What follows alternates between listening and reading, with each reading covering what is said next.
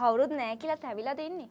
ඔය විශ්වාස කරපු මනුෂ්‍යයන් ඔය විශ්වාස කරපු යහළුවන් ඔව අත්තරලා නැතන් විශ්වාස කරපු අම්මා තාත්තා කවුරු හරි ඔයා වැඩියෙන් ඔයාට වඩා විශ්වාස කරපු කෙනෙක් ඔයාගේ ජීවිතේ මේ වෙලාවේ ඔයාව දාලා ගිහලා නැත්නම් ඔයා පොරොන්දු දේවල් උන දේවල් කරක් නැතුව තනි වෙලා ඉන්න කෙනෙක්ද?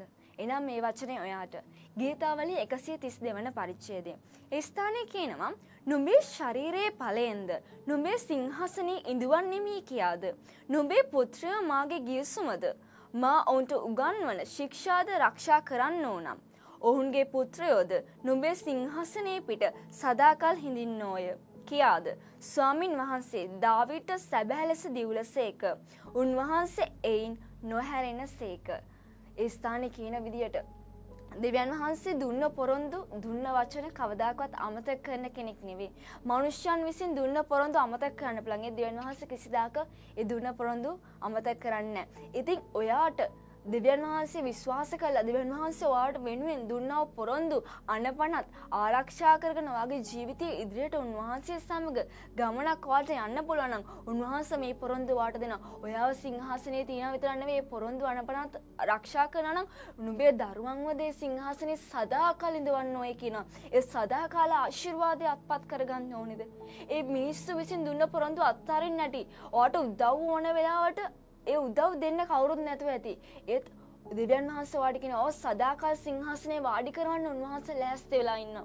ඉතින් උන්වහන්සේගේ අනපනත් ආරක්ෂා කළා. උන්වහන්සේ අනුව ඔබ ජීවිතයක් ගත කරන්නේ නම් උන්වහන්සේ ඔබව ආශිර්වාද කරන්න යනවා. ඒ විතරක් නෙවෙයි මේ ස්ථානයේ ඒ අන්තිම පද දෙක මෙසේ සඳහන් කරනවා. එහි දහවීත්ගේ අග ලියවන්නෙමි. මාගේ අභිෂේක කළත් තැනැත්තාට පහනක් පිළියල කරන්නෙමි. ඔහුගේ සතුරන් ලැජ්ජා වස්ත්‍රයෙන් පළඳවන්නෙමි. නමුත් ඔහු මත්තේ ඔහුගේ ඔටුන් ශෝභමාන වන්නේය. ආමෙන් ඔයා මිනිස් විසින් ලැජ්ජාවට පත් කළ තියෙනවා නේද? ඒ මිනිස්සු ඉස්සරහම දෙවියන් වහන්සේ ඔයාව ශෝභමාන ඔටුන්නක් පළඳලා ඔවුන් ඉදිරියේම උන්වහන්සේ ඔයාව සපලවත් කරන් යනවා. ඒ මිනිස්සුන් ඔයාව ලැජ්ජාවට පත් කරපු මිනිස්සුන් උන්වහන්සේ ලැජ්ජා වස්ත්‍රයක් පළඳවන් යනවා. ඉතින් ඔයාගේ ජීවිතේ මෙච්චර කලවත් තනි වෙලා අඬලා ලැජ්ජ වෙලා කිව්වොත් හැල් අමතක කරන්න තාමත් ඔයා අඬන්න ඕනේ නෑ. දෙවියන් වහන්සේ ඉන්නවා. දෙවියන් වහන්සේ ජීවමානයි. ඉතින් ඒ ජීවමාන දෙවියන් වහන්සේගේ අනපනත් ආරක්ෂා කළා උන්වහන්සේ සමග ජීවිතේ ඉදිරියට ගෙනියන්න දෙවියන් වහන්සේ සූදානම්ව සිටිනවා. ඒ ශෝභමාන ඔටුන් ඔයාට දීලා ඔයාව ආශිර්වාද කළ ඔයාගේ දරුවන්ව ඔයාව සදාකාල සිංහාසනේ හිඳුවන පිණිස. ආමෙන්. ආශිර්වාදමත් දවසක්.